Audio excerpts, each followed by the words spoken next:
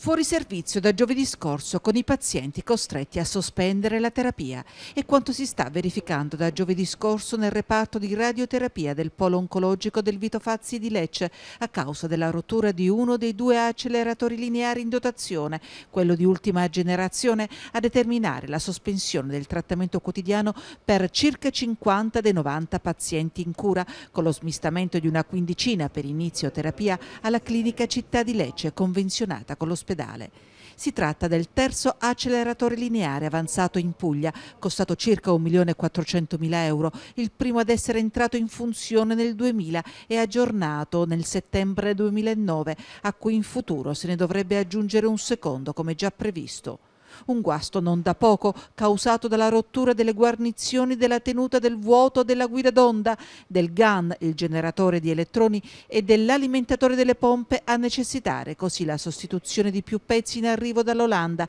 e che una volta sostituiti garantiranno entro lunedì prossimo il ritorno alla normalità. Ovviamente è un grosso disagio psicologico per i pazienti perché interrompendosi una cura pensano che possa compromettere il loro trattamento.